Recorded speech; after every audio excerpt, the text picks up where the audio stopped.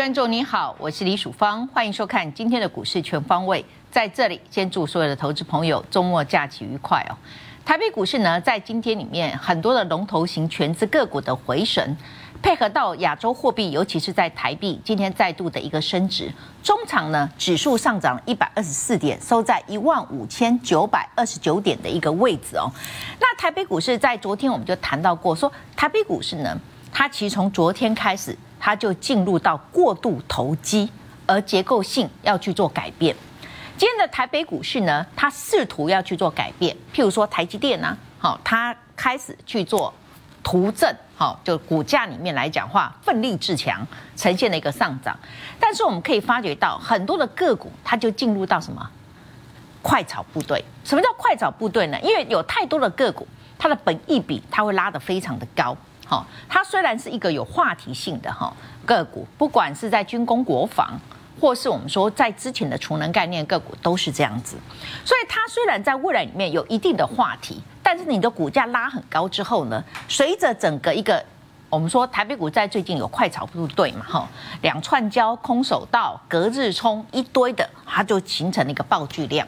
那爆巨量之后，在这种情况之中的台北股市，到底要如何的看待这些爆巨量的个股？有节能的，有军工国防的。那大家也有很多人担心，下个礼拜是台积电的法说会里面，以及美台超级的法说跟财报中，就开始避哈避所谓的一个族群，把电子个股的资金避到一些所谓的生计，或是我们说的内需型的消费。这样子到底如何的看待？我们对于整个台北股市呢？我觉得目前的结构。它还是要调整，好，你快炒部队，你这样炒炒炒，这边爆量，那边爆量，然后过度的资金的倾斜，它可能都会造成一定的后坐力了哈。虽然今天的台北股市它试图结构要去做调整，但是以今日的盘面上面来看，它的结构还没有调整完成哈。曙方永远实话实说，在这个节目里面，所以我认为在这里面来讲话，整个台北股市呢，它是属于短线上面来讲短兵相争。什么叫短兵相争？就是说，你现在的多空呢，它会在这边里面来讲话，根据你的筹码面，好，根据你的基本面上面的变化，好，他去做一个谁与中争锋。有些人如果说嘎空胜出呢，股价就可以进行比较高的一个超涨。那有些的筹码如果一旦乱掉，它就会进行一定的整理。然后这个整理的时间跟空间，就是有什么？我们说。第一点是由基本面支撑出来的，它在由基本面上面，它去决定它整理的时间跟空间。那我觉得台北股市在最近里面，你可以发现到，哎，K D 指标时而向下，时而向上，哈，昨天交叉向上向下了，今天向上也还没有交叉向上。如果把它打开来看，它其实是一个钝化的结构，但是在今天的一个指数上面而言，是创下近期的新高。你可以发觉到量能跟它的 K D。它并没有同步的一个创高，所以它始终是用背离区间整理的方式让个股去做表现。那我也跟大家讲说，台北股市其实在一万六千五百点之前，它的主升段哈都还没有完成。主升段最小的测量的满足是一万六千五哦，可是你不要忘记后面还有三四五。它称之为扩延坡，哈，那因为在这种过程中，台积电它这一家公司，如果以 rate 就是叫重估价值来看，我们说我们在之前有讲过，说台积电它的第二季会衰退，好，因为它是最晚进行库存调整的公司，越早进行库存调整，从去年里面的七月份下半年就开始进行库存调整，它越快那台积电从上个月才开始调整。那它调整的时间一定比较短，好，不会像别人一调整要一年半年的时间，它大概半年左右就好了，所以它的下半年就能够恢复成长。那二零二四年它又能够恢复的一个成长，所以台积电的法说上面，我们就跟他讲，真正的关键就是来自于它的 AI 的一个订单，HPC 的订单，哈，它能不能够在第二季比较早的时间去进行的拉货。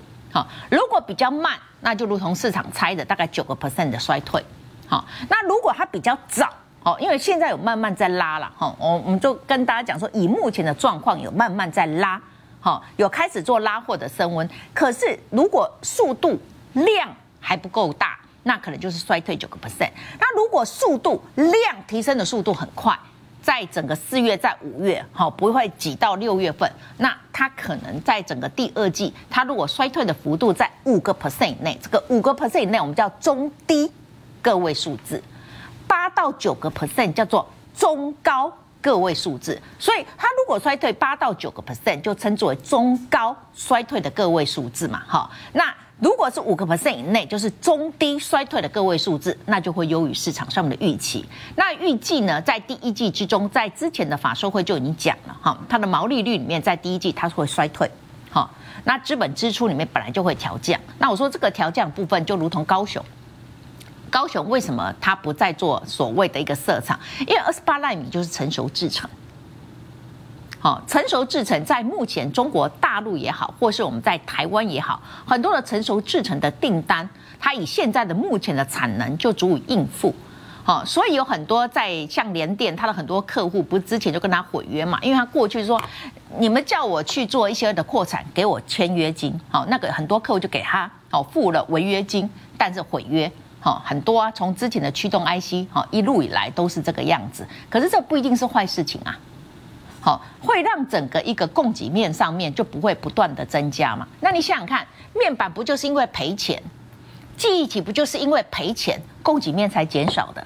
它的价格才稳定嘛。如果成熟制程不断不断的扩厂，中国大陆也开始自自立自强，哈，也不愿意被美国掐住那个咽喉，让他们整个半导体挂掉。那这种情况之中，你再去做设厂，再去做扩产，对于你的半导体而言，并不是一件好事情哈。加上台积电以目前知道的，应该确定哈，日本跟 Sony 去做配合，要去做设厂。那德国应该是跟 POSH 哈去做一些的配合，去做车用的一些的设厂。那这个部分也不是先进制程啊，对不对？所以这个部分里面来讲话，我觉得不是一件坏事情了哈。但是因为台北股市目前它的 K D 指标呢，在指数创新高的时候持续的背离，那我们就必须要几件事情好记谨记在心。第一个，你还是要危机意识，因为我们说台北股市过度倾斜，快炒部队这边炒一炒，那边炒一炒，爆大量，然后炒完丢给散户，嘣，他就跑了，然后再换到另外一个区块。那我说军工国防基本上而言，这种问题哦，因为没办法，我属方知之为知之，不知为不知，是知也。我根本不晓得下任总统是谁，我怎么帮你评估啊？根本在政治的一个因素上面而言，会影响到产业上面的变化，它是很多的，所以我没有办法去做评估。但是以目前军工国防的一个概念上面而言，就是两岸关系的紧张嘛。那订单里面来讲话，我们就是会比较政府会下比较多的订单。那至于那二十五个公司来台湾，好，到底是我们要买他们的，还是他们买我的，我不知道。好，那就看呃呃，随便消息随便放，看谁怎么放无所谓。但是我要跟大家讲，军工国防的订单，今年明年很难。你今年接到订单，你就看到，就像之前的汉翔，他接到订单说十年大订单三百多亿，对不对？那是二零二五年以后，哦才会有所贡献。所以现在就是说，以目前航太公司啦，好，以目前航太公司有经过。美国哈就国际认证，称作 FAA 的认证，台湾只有三家公司，一个就是汉翔，好，一个是长隆航太，另外一个就是嘉登，好，三六八零嘉登，它有设备，它有航太。那在这种过程之中，我们就以汉翔做个举例哈，汉翔以虽然他接到那个订单，以今天最新评估的一个报告上面而言，我是说法人的评估报告，今年就赚两块多。明年还是赚两块多，那今天的一个最高呢？哦，到五十六点六，那就看大家哈，你愿意用两块多来买将近三十倍的，呃，应该说二十几倍吧，二十几倍的本一比的个股哈。那我觉得它的好处是，今天虽然哇已经十六万八千张了，今天报这个巨量，但它不是一个巨量式的黑 K 哈。那在这种过程中，这个这个量是错的啦哈，今天是最大量哈。报这个最大量，那只要今天的低点五十三块钱不去做跌破，那就没有很大的关系。你看呢？为什么说台北股市就有一个快炒部队，这边炒一炒，那边炒一炒？那你看中心店，其实中心店应该是这一天，这一天四月十二号报大量，听我讲就好了，因为这个电脑上面的量全部都是错的哈。它报大量是在四月十二号的这一天，就隔一天是不是大量区间的下缘就跌破了？跌破之后，这短线上面的套牢，说一洗就洗下来。那洗下来之后，你就去看它的支撑，它支撑在哪里？就是月均线跟这个，好，这个支撑上面大概就一百块钱，如果能够守住，那也没有很大的问题。原因就是说，你要必须，我们说你的低点就必须回估到你的一个预估的在今年二零二三年的合理的本益比跟合理的获利嘛。那以中心店目前法人的预估是五块六、五块八嘛，好，那这样子的话，应该是在一百块钱附近是可以得到一定的一个支撑。所以我觉得台币股市现在的问题是你的快炒部队，你会造成一下这一个好，如同龙卷似的旋风，哦，啪一声就上去了，然后筹码一乱到如同什么龙卷风扫完之后啊。整个一个风吹过去之后，树叶落地，啪，就这样掉下来了。台北股市在最近就常常出现这个现象。好，那你这个过程中，你就自己去做一些的一个留意了哈。所以我认为，在这个时间点里面，在短线上面如果有效，因为我看了一下，它今天变成动画哈，一下一下向上，一下下下。如果它是开口的哈，称之为有效，这叫持续性有效的日 K D 开口向下，那你短线上面就卖。那另外部分，目前的台北股市还没有化解过热跟背离上面的情况的过程中，请你要操作股票可以哦，吼，不要增加持股比例，不要使用融资，长线来保护短线，也就是短线转弱，但中线的支撑不破，你可以采金字塔的方式，好分批去做布局，不要一次买满哦。一次买满不行，在目前的格局上面不行。那结构上面过度的倾斜啊，我说快炒旋风，对不对？快炒旋风，你的股价就像旋风似的。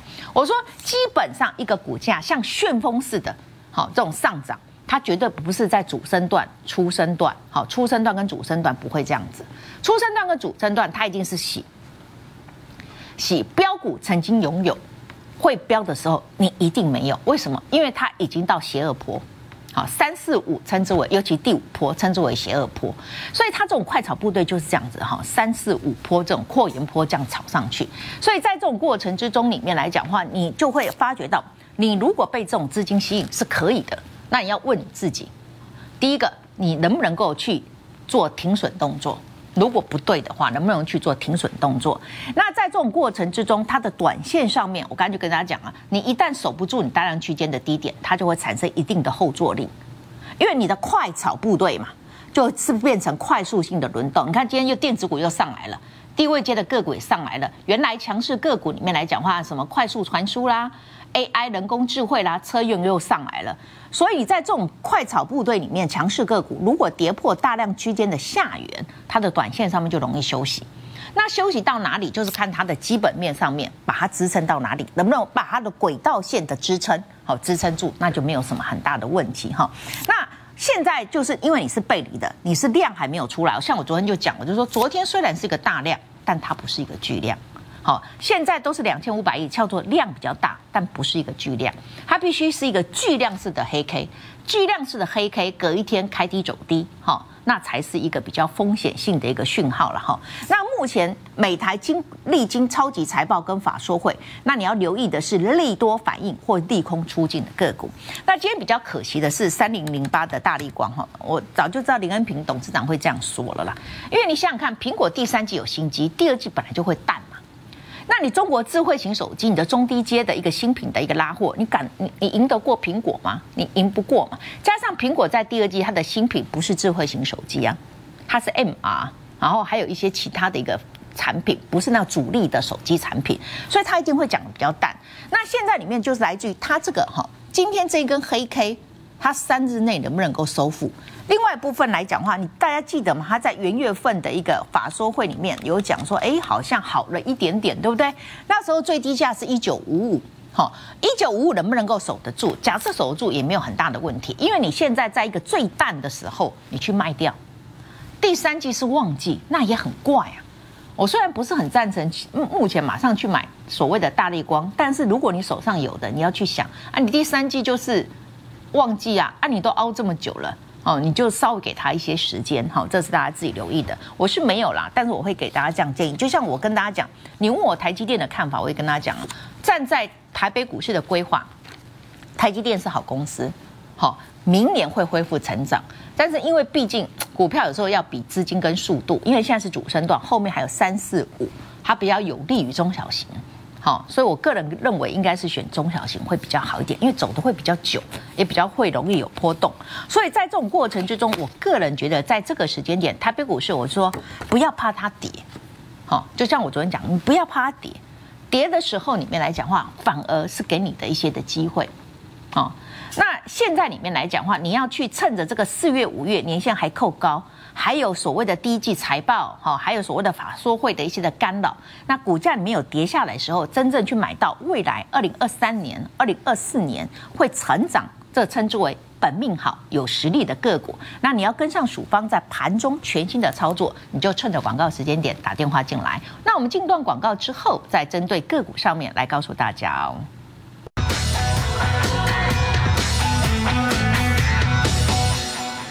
你好，欢迎回到股市全方位。其实，在这种过程中，我们知道台北股市它分成几种了哈。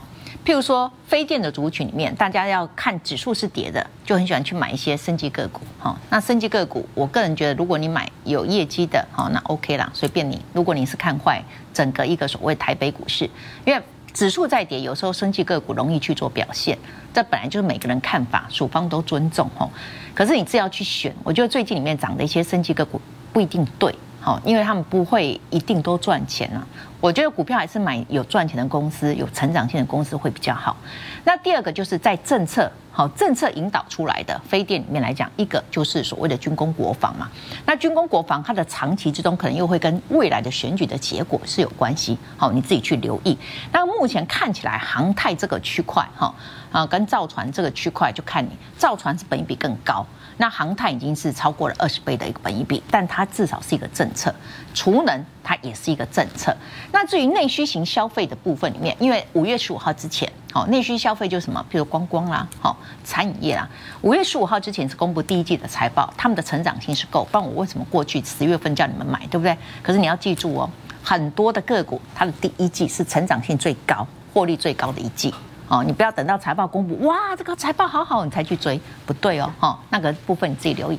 那至于在电子产业之中，它就要分成几种的层面。我说，电子产业基本上要跟未来的趋势跟成长性它是有关系的。那我在之前就讲了，说 AI 它是一个长期的趋势，它也不是一年。聊天机器人只是 AI 的第一个过程而已，那个是个 baby，一个出生儿而已。未来里面十年、二十年，这个 AI 还是要持续的发展下去，一直发展到什么？一直发展到有一个类似像鼠方这样的一个机器人，哦，我们都去接受在这边讲盘，在那边播报新闻，那个时间点才是 AI 人工智慧化完成的那个时间。做不到之前呢，AI 都没有办法哈说它已经完成。那所以呢，AI 人工智慧再过来呢，就是车用。因为你就是规定二零三零到二零四年年之后呢，是不可以有燃油车的，所以电电动车的市占率一定会越来越高。好，再过来就是新的产品嘛。你选嗯，我们说只见新人笑，不见旧人哭，这都往往都是这样子哈。你想想看，军工国防跟储能概念个股，在过去好一两年之前，那股票根本不会动的。好，那就随着两岸的关系创造一些的话题，随着所 ESG 的一个储能它带领出来的嘛，哈，这是部分你自己留意的。那所以在这个时间点里面，你自己要去选择有新的一个产品。我跟你讲说，你仔细看看，不就是 AI，不就是快速传输，不过就是所谓的一个车用电子，再过来呢，就是什么？就是一些呢落底的，哦，就是什么春燕已经飞来的个股。在这边去做一些的轮动嘛，哈，这是你自己留意的。那我说过，在这种过程之中，我们就要去选呐。第一季落底，第二季是成长的，好，你不能够说只选第一季，好，第一季已经大幅成长，哦，我像我说内需型消费的部分，你第一季大幅的成长，你五月十五号之前你可以炒啊，对不对？可是五月十五号之后呢，你面对第二季之后呢，那怎么办？你第一季最高，后面要衰退，那怎么可以？好，那你现在要去选的呢，就是第一季，好，它是。OK 的，然后呢，第二季是成长的，那你才这个部分才可以走得远嘛。那我说这一家公司以目前来看，第一季不怎么样，但至少没有衰退。哎，电子产业第一季跟去年同期相比没有衰退的很少呢。它第一季不怎么样啊，持平而已了哈。第二季它的获利哈，就是第一季没赚什么钱，第二季就可以赚到一块钱，第三季就可以赚到两块多，有很多的一些的题材。好，呃，所以在这种过程之中，我刚刚讲了很多嘛，哈，非电的族群跟电子族群，它就是那我刚刚讲那几个族群多重的题材的个股，哈，所以在这种过程中，你自己可以稍微去做留意。那它长线上面还是属于低基期。那第二个部分里面来讲话，它是属于呢，它之前里面是叫做车用，哦，车用的一个概念。那一直到最近，哦，它才打入到电动车的概念。好，它这个是全新的领域哦。那配合到它有扩充它的一个产能，好，稍微扩充一下，然后再过来第四季还在去做扩充，所以去年赚七块多，今年会赚到十块多，那这样是不是有成长性？好，当然有成长性。所以它第一季的获利跟去年的第四季相比呢，持稳向上，第二季又可以成长十五个 percent，好，这这个就是有机会哈再创新高的。那单季呢就能够到什么？到两块八正负一毛钱左右，就两块八左右了哈。全年我就讲，去年是七块多，今年可以到十块多，好十一块。那这样的话，技术面的拉回你就不用过度的紧张。就像我跟大家讲说，三六六一的市星，我一直跟大家讲说，你这种个股里面来讲话，你要赚到大钱，你就是要懂得抱得住。你每一天它没有破线，没有转弱，你每一天都啊看它不顺眼，何必呢？就像我说六二三五的华孚。二四五七的一个飞鸿，四九七九的华星光，你就冲来冲去啊！你不冲，别人也在冲啊，是不是？所以你自己去就要留意。那整个一个目前来讲话，AI 人工智慧还是很强。五二八九的一个一定有破线吗？没有破线嘛？因为记忆体吼，说实在的，今年你们的获利跟去年相比都大衰退。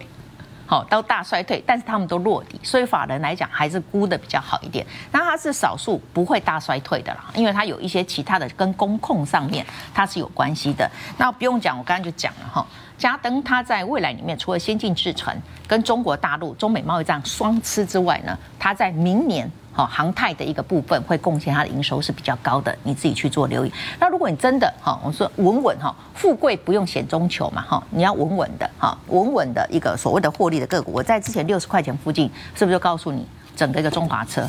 那你看中华车到昨天最高六十八块，今天里面来讲话还在六七点四这边嘛哈，所以你看它的股股价，你这样子的操作不是很稳稳的嘛？好，因为有时候一讲哦，你看这边给我洗好久。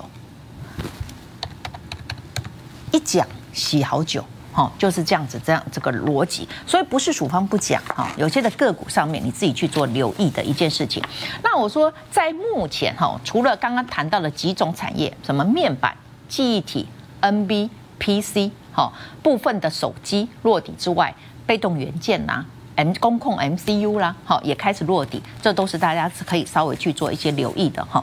所以在这个时间点里面，我个人认为台北股市呢。最好能够有适度的，好，它去做结构性的调整，你不能够一直在这种好太奇怪的个股里面。我说军工国防可以涨，但是要正规军，好，你不能够在那个军工国防占比很少的股票，好，只是纯粹在筹码战的股票，如果去这样子的一个操作，那我告诉你，有钱人会退场，一退场，这个大盘就会修正后坐力的。幅度会比较大一点，所以你可以看今天的股价，那大盘调就在调整，所以我觉得我们再可以再去看呐。我个人觉得目前不管是四月，不管是五月，台北股市如果有拉回的时候，都是主升段再度上车的好时机。